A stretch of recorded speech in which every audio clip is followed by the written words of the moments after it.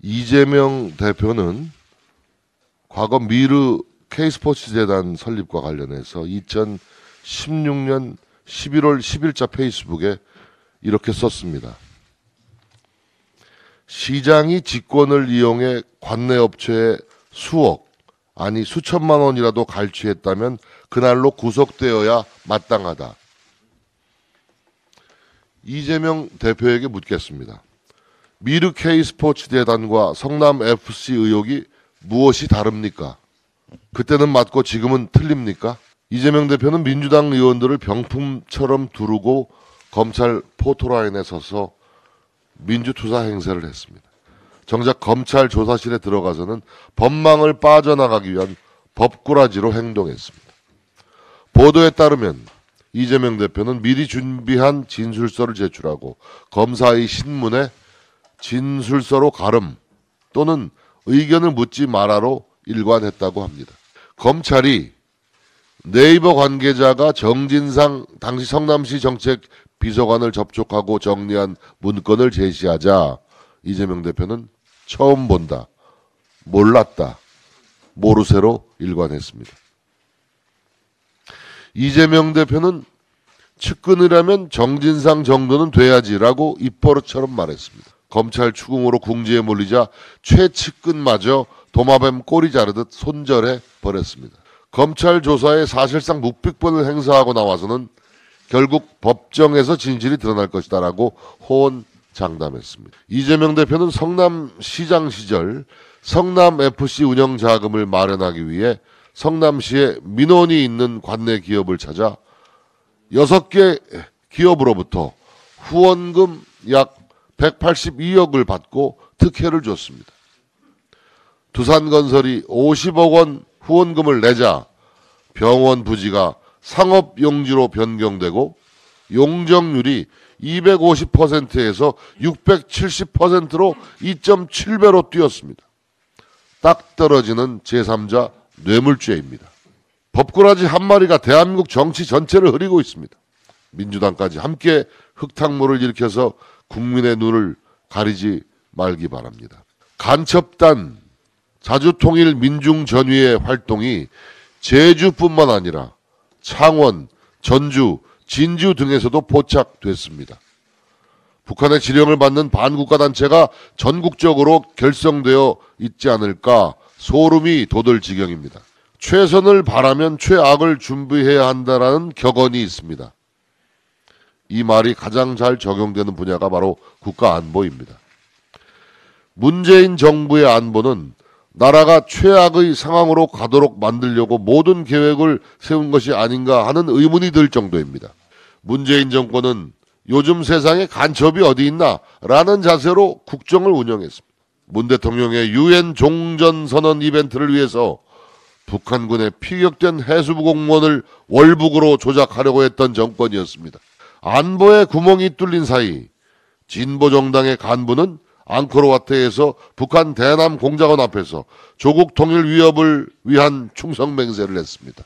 국회 내부에도 간첩은 침투했었습니다. 국회의원 전 보좌관 한 명이 서울 시내에서 북한의 난수표를 이용하여 보고를 한 사실이 드러났습니다.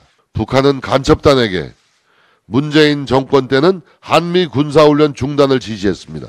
윤석열 정부 들어서는 진보 촛불 세력과 연대하여 반정부 투쟁에 나서라는 지령을 내렸습니다.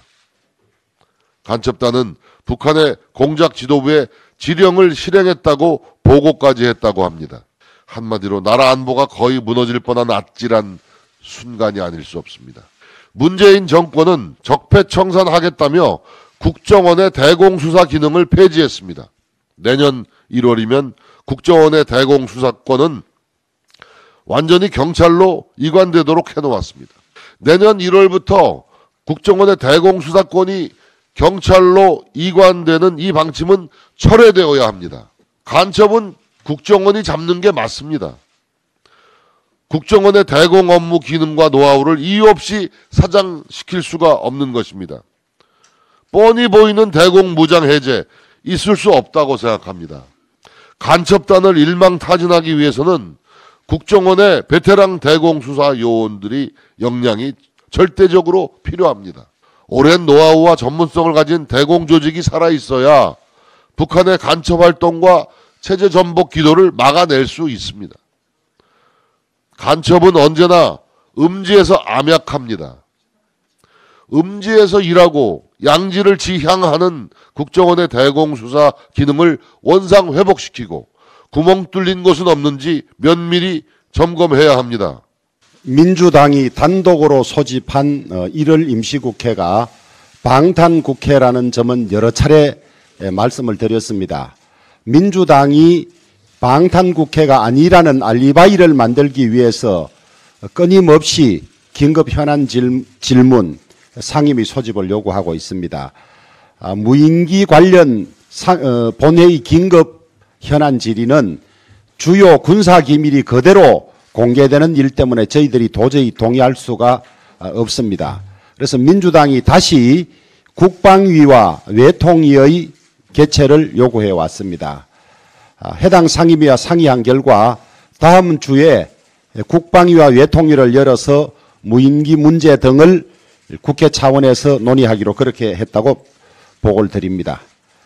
아, 다음 어, 이태원 참사 국조특위가 오늘 오후 2시에 유족 등을 상대로 공청회를 개최하고 다음 주에 청문 보고서 채택 절차 과정을 거치게 되면 모두 종결되게 됩니다. 아, 오늘 오전 중으로는 어, 녹사평 어, 추모관도 방문할 예정인 걸로 알고 있습니다. 아, 끝까지 성실하게 국정조사에 임해서 어, 사고 원인도 정확하게 규명하고 책임 소재도 밝히고 또 재발 방지를 위한 어, 조치를 마련하는데 최선을 다해 주기를 바라겠습니다. 아, 예금과 대출의 이자 차이, 예대 이율 차이가 커서 서민들이 많은 어려움을 겪고 있습니다. 1월 10일 기준 5대 시중은행의 주요 정기예금 상품 최고 금리는 3.89% 내지 4.27%입니다. 작년 11월에는 5%대를 어, 넘기도 했는데 2개월 만에 1%가 떨어진 것입니다. 이에 반해서 5대 은행의 주택담보대출 금리는 4.93 내지 8.11%를 기록했는데 주택담보대출 금리 상단이 8%를 넘은 것은 2008년 금융위기 이후 처음이라고 합니다.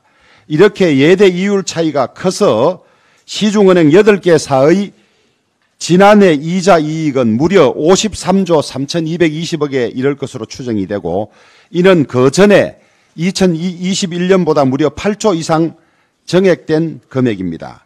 금융당국은 이러한 과정에 위법 부당한 일은 없는지 철저히 감독해 주기를 바라고 시중은행들은 가뜩이나 어려운 음, 경제 현실 하에서 서민들이 예대 이율 차이로 고통을 겪는 일이 없도록 합리적인 예대 이유를 설정해 주실 것을 부탁드립니다. 민주당은 이재명 대표와 헤어질 결심이 필요한 때입니다. 이재명 민주당 대표는 유체이탈 검찰 조사로 국민을 기만하지 말고 검찰 조사에 성실히 임하시기 바랍니다. 이재명 대표는 검찰 조사 전 포토라인에서 당당하게 조사받겠다며 10분이나 되는 입장문을 발표했습니다. 그러나 막상 조사가 시작되자 A4 용지 10장 분량의 서면 진술서를 제출하고는 수사 내내 사실상 진술을 거부하였다고 합니다. 검찰 조사에서 소명한 것보다 검찰 출석하기 전 카메라 앞에서 한 말이 훨씬 많았습니다. 그동안 대장동 수사에 대한 이재명 대표의 이중성, 측근에 대한 뻔뻔함을 보았을 때 이미 예상한 결과입니다. 지금까지 이 대표 최측근들이 대장동 비리 등과 관련해 뇌물, 불법 경선 자금을 받은 혐의로 구속됐습니다. 이 대표의 검찰 수사는 당연한 수순입니다. 죄가 없다면 그런 정치적 수사를 늘어놓을 필요가 없습니다. 이 대표 스스로 말했듯이 당당하게 조사에 임해 무고함을 입증하면 그만입니다. 검찰의 현직 야당 대표 소환은 헌정 사상 초유의 일입니다.